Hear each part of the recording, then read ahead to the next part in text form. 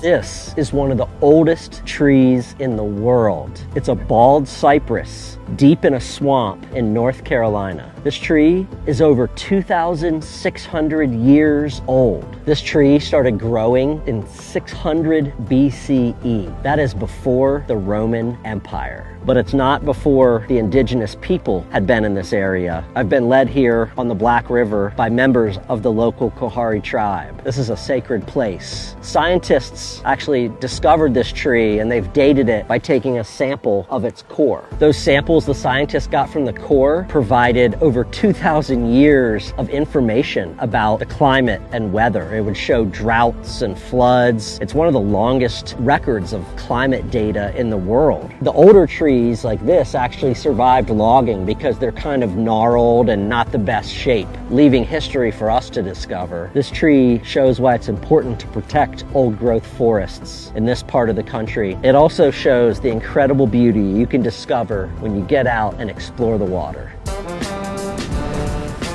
Waterloop, Waterloop, Waterloop.